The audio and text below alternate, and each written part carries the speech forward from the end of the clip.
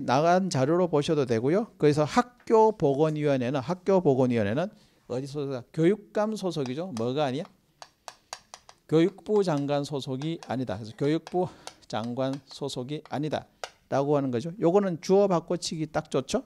그렇게 됩니다. 우리가 보통 앞에 뭐야? 앞에 건 보건복지부 장관 소속이었죠. 보건복지부 소속 장관, 장관 소속이고 우리가 국민건강증진법에서 있는 것이나 국민 영양관리법은 주어가 대부분 다 보건복지부 장관이었지만 학교에서 나오는 시도 학교 보건위원회죠. 보건위원회는 어디냐? 교육감 소속이다. 교육부 장관 소속이 아니다. 이걸 특별히 잘 기억해서 봐두시면 좋겠다라고 하는 것이고요. 그래서 일단 학교 보건위원회인데 본문에는 교육감 소속으로 기도 학교 보건위원회를 두죠. 위원은 15명이 위원이 되겠는데 그 밑에 이제 보건위원회 구체적인 내용들은 이렇게 담당하는 게 시행령 24조에 있죠. 근데 이거는 그냥 참고해서 보시면 됐고요. 참고해서 보시면 되겠습니다. 그렇게 되는 것이고요.